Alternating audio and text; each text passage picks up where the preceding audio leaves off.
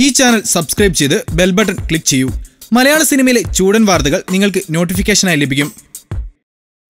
പ്രായപൂർത്തിയാകാത്ത വിദ്യാർത്ഥിക്ക് നഗ്നചിത്രങ്ങൾ അയച്ചു കൊടുത്ത മുൻ മിസ് സുന്ദരി അറസ്റ്റിൽ പ്രായപൂർത്തിയാകാത്ത വിദ്യാർത്ഥിക്ക് നഗ്നചിത്രങ്ങൾ അയച്ചു കൊടുത്ത മുൻ മിസ് അമേരിക്ക മത്സരാർത്ഥി അറസ്റ്റിൽ സ്നാപ്ചാറ്റിലൂടെയാണ് പതിനഞ്ചുകാരന് റാംസി ബിയേഴ്സ് സ്വന്തം നഗ്നചിത്രങ്ങൾ അയച്ചു കൊടുത്തത്. കുട്ടിയുടെ മാതാപിതാക്കളാണ് പോലീസിൽ പരാതി നൽകിയത്. കോടതിയിൽ ബിയേഴ്സ് കുറ്റം സമ്മതിച്ചു. ഇരുപത് വർഷത്തെ തടവും ഒരു ലക്ഷം ഡോളർ പിഴയുമാണ് ബിയേഴ്സിന് ശിക്ഷ വിധിച്ചത്. സംഭവത്തിന് പിന്നാലെ ബിയേഴ്സിനെ സ്കൂളിൽ നിന്ന് പുറത്താക്കി. രണ്ടായിരത്തി പതിനാലിലെ മിസ് അമേരിക്ക മത്സരാർത്ഥിയായിരുന്നു ബിയേഴ്സ്.